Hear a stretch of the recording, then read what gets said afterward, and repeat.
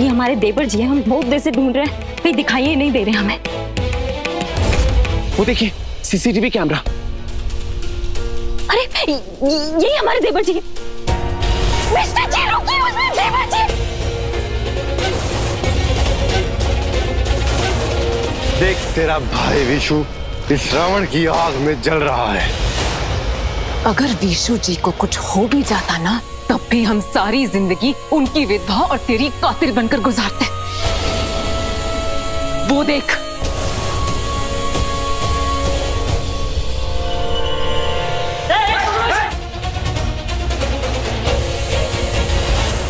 आप लोग यहाँ विशु का ख्याल रखिए मैं उसे देखता हूँ।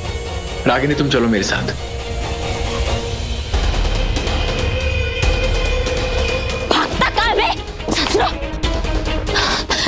चला गया वो। मेरे हाथ लगेगा ना तो उसको यमलोक पहुँचा देंगे। अनुराग अपनी रिको से बाहर निकल। माफ़ी मांग रागिनी से, नहीं तो देर हो जाएगी।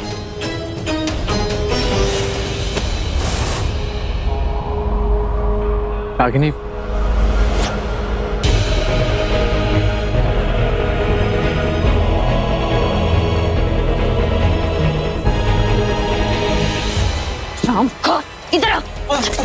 छुप रहा था हाँ? अबे तू जानती नहीं मेरे को छोड़ अरे, तेरे को दिखाते अभी यमलोक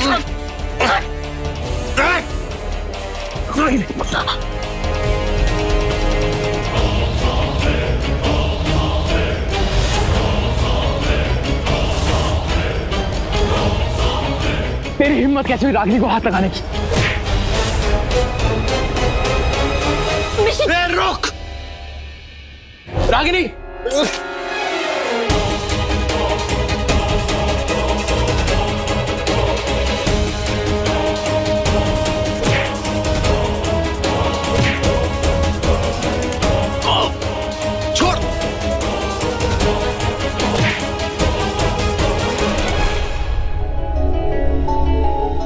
सृष्टि जी वो शेखर है ना? बहुत ही कमीना आदमी है। हमें उसे भागने नहीं देना चाहिए। हमें उसके पीछे जाना होगा। तुम कहीं नहीं जाओगे बैठो यहाँ। विशु जी आप बैठिए। रागिनी गई है उसके पीछे। आप बैठे यहाँ पर।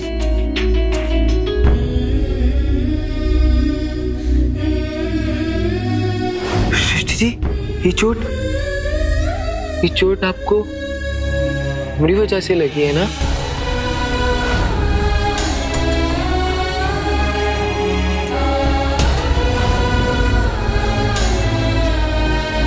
नहीं ये बस ऐसे सृष्टि जी हमें माफ़ कर दीजिए।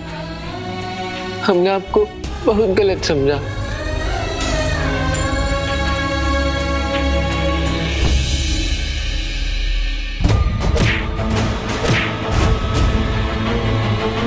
इस घटिया आदमी को गिरफ़्तार करने से पहले सबके सामने ले चलो। इस रावण की घिनौनी सूरत पहले सबको देखनी चाहिए। अगर हम भी थोड़े से समझदार होते तो वो शिकर ये सब कभी ना कर पाता। हमें माफ़ कर दीजिए सृष्टि जी।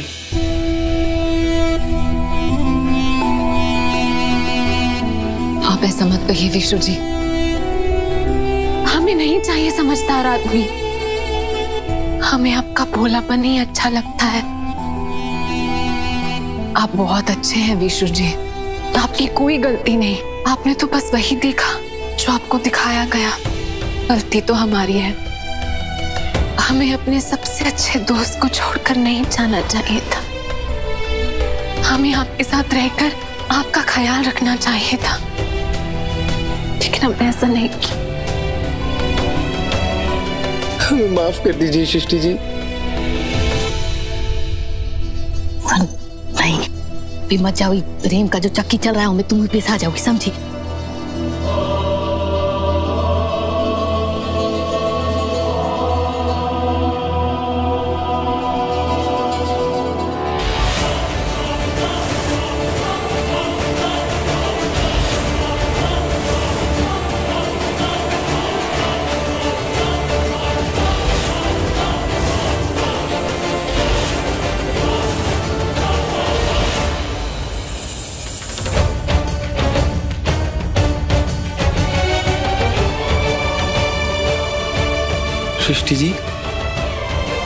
आपने हमें माफ़ तो कर दिया है ना?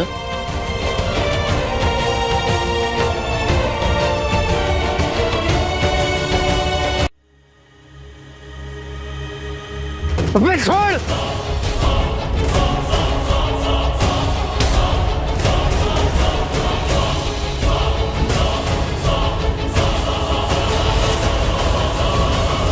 कमीने धोखेबाज आस्तीन के सांप। यही शिक्षा दी थी मैंने तुझे।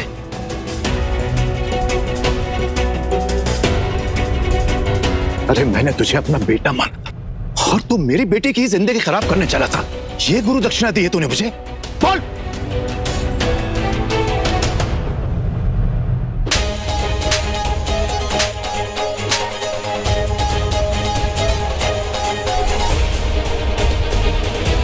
अरे चा, चाचा जी चाचा जी छोड़िए, कहाँ आप अपना हाथ गंदा कर रहे हैं? अरे, इस ससुरा को तो पुलिस का सोटा काम आएगा इसके ऊपर। अरे, ले जाओ साले को खूटा, में बाँध के मारो सोटा सोटा।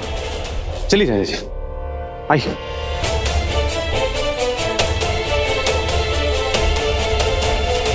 धन्यवाद बिटिया। हमें यहाँ बुलाने के लिए और इस दरिंदे का असली चेहरा दिखाने के लिए बहुत बहुत शुक्रिया।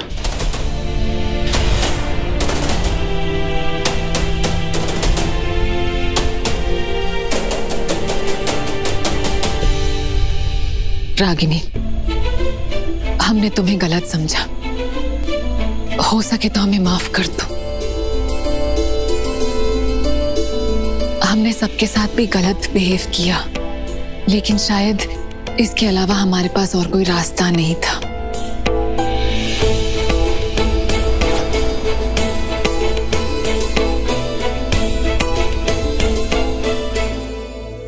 सुन लिए? अब तो सारा सच्चाई समझे में आ गया होगा ना आपको? मिस्टर जी, ज़रूरी नहीं है कि जो हाथ कलम पकड़ते हो, वो हमेशा सही हो। और बंदूक पकड़ने वाले हाथ हमेशा बुराई करें। हमारा तो ना ये नसीब खराब है।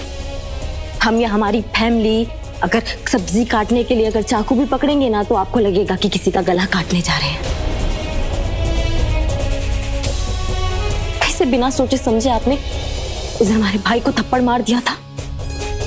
ये भूल गए थे कि हमारा भाई ना, चाहे जैसा भी हो, लेकिन वो उस घर की इज़्ज़त के साथ कभी खिलवाड़ नहीं करेगा जहाँ उसकी बहन की शादी हुई हो। क्या जो हुआ, सो हुआ आप ना अपनी भाई से पूछिएगा कि क्या सच है और क्या झूठ है। फ़िलहाल ना, हम ना आपसे कुछ वादा किए थे। उसको पूरा करने का टाइम आ गया है। लेकिन रागिनी मेरी बात आज हम बोलेंगे।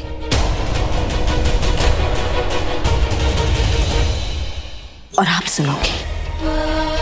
मिस्टर जी हम हम मानते हैं कि आपका और हमारा जोड़ा ना बेमेल था। लेकिन हम पूरा कोशिश किए कि वो कभी बेमतलब साबित ना हो।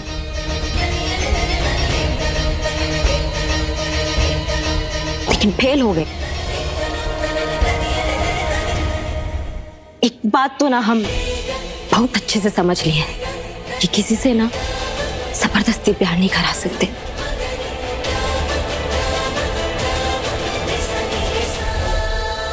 आपसे वादा किए थे ना कि जिस दिन खुद को निर्दोष साबित कर देंगे, उस दिन आपको इस अग्नि फेरा के बंधन से ना हमेशा के लिए मुक्त कर देंगे।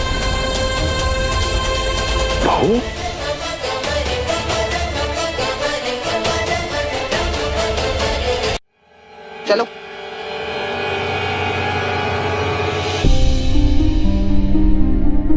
हम जा रहे हैं। कभी हमसे कुछ भूल चूक हुई हो ना तो हमारा पागलपन समझ के ना हमें माफ़ कर देना। एक बात और कहना चाहेंगे आपसे जो शादी मंडप में मन थड़ के हुआ था ना हम नहीं चाहते कि वो गोरट के दलील के साथ तोड़ा जाए तो कोरट पोरट का चक्कर ना में पालना ही नहीं है। हम आपको हम आपको ऐसे ही सब रिश्ते से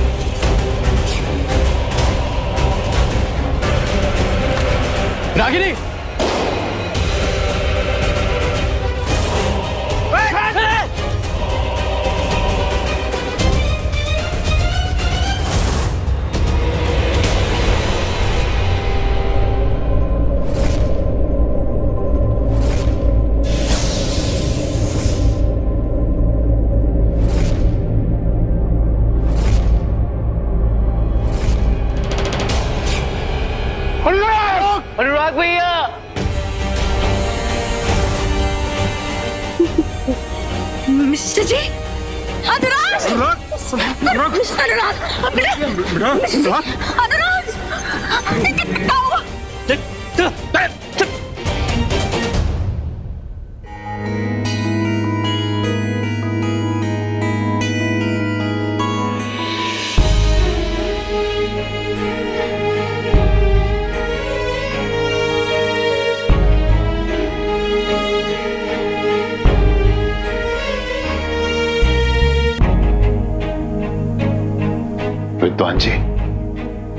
ईश्वर कभी किसी अच्छे इंसान के साथ बुरा नहीं करता है।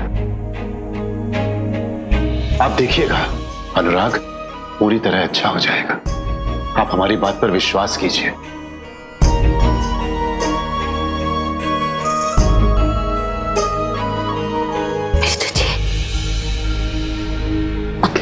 में डाली है आप। हमारे लिए, हमारी गुली खाली है। अपनी जान जोखिम में काहे डाले मिस्टर जी। मिस्टर जी, अब ऐसा कि हम, हमारे लिए वो गो- गोली खाली है। मिस्टर जी, हम समझे में नहीं आ रहा। हमारे लिए हम खुले काहे काहे की साहब हमें मरने तो हम मर जाते तो क्या फ़र्क पड़ रागिनी रागिनी अपने आप को संभालो। ये तुम क्या बोल रही हो? सृष्टि वो मिस्टर जी हमारा हम पे गोली चलने वाली थी वो वो गोली खा ली। अपनी जान जोखिम में डाल दी हमारे लिए हमें हमें समझे में नहीं आ रहा ये सारी फालतू की बातें अपने दिमाग से निकाल दो और प्रे करो कि अनुराग जी जल्दी ठीक हो जाए।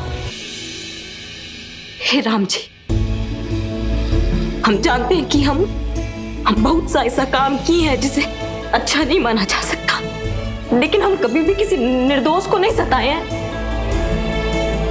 और हमारे मिस्टर जी, वो तो वो तो एकदम गाय जैसे वो तो चीटी को भी सारी बोलने वाले लेकिन हमारा सजा उनको मत दीजिए, भगवान जी उनको बचा लीजिए।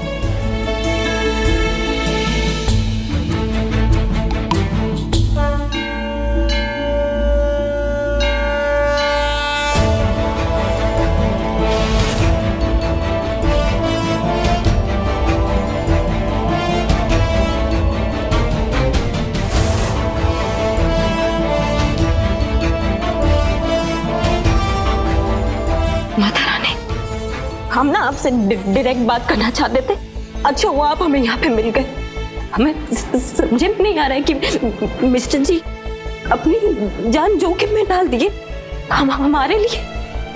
हम, हमें तो वो पसंद ही नहीं करते हैं ना। अगर हमें कुछ हो भी जाता तो क्या फ़र्क पड़ता? लेकिन फिर भी वो अपनी जान चुप हमारी जान बचाने के चक्कर में वो वो अपनी जान से लड़ाई लड़ रहे हैं। रानी कुछ अनहोनी मत होने देना।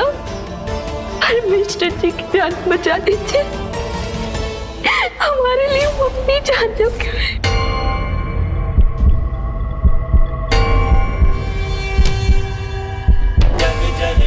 डॉक्टर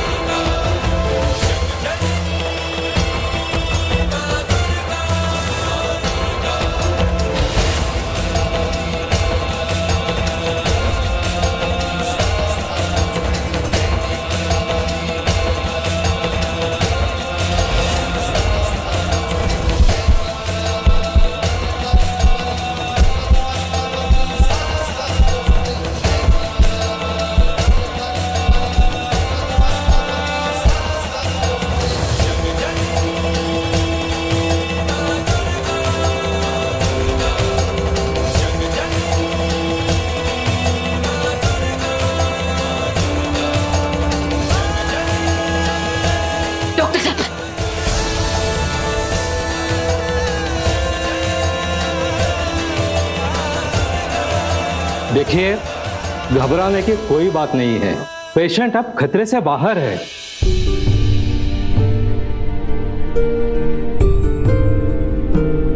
भगवान का लाख लाख बेटा सही सलामत लेकिन लेकिन? लेकिन? लेकिन लेकिन क्या डॉक्टर साहब? देखिए गोली उनके दिमाग के नस को छू कर गई है। और ऐसे केसेस में एक तो पेशेंट की आँखों की रोशनी या कोई और एबिलिटी अफेक्टेड होने के चांसेस होते हैं।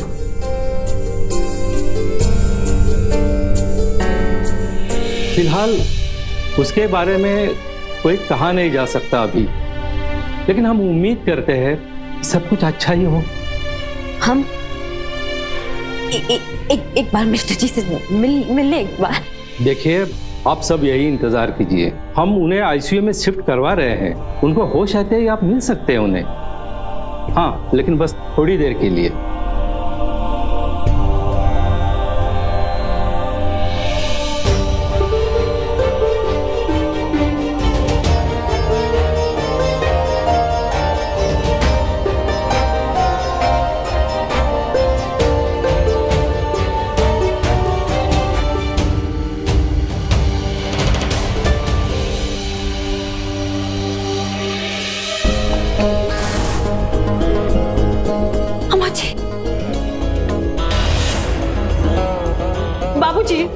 देखिए मिस्टर जी को कहा हो गया देखिए मिस्टर जी को कहा हो गया बाबूजी बाबा सब ठीक करेंगे बेटा जी। परेशान मत होइए आप। समदन जी ये सब कैसे हुआ? दामाद जी पर किसने हमला किया? कैसे हुआ और किसने किया ये सब ज़रूरी नहीं है। इसके वजह से हुआ है यही ज़रूरी है। अरे जब से हमने हमारा दोनों बेटा का शादी किया है ना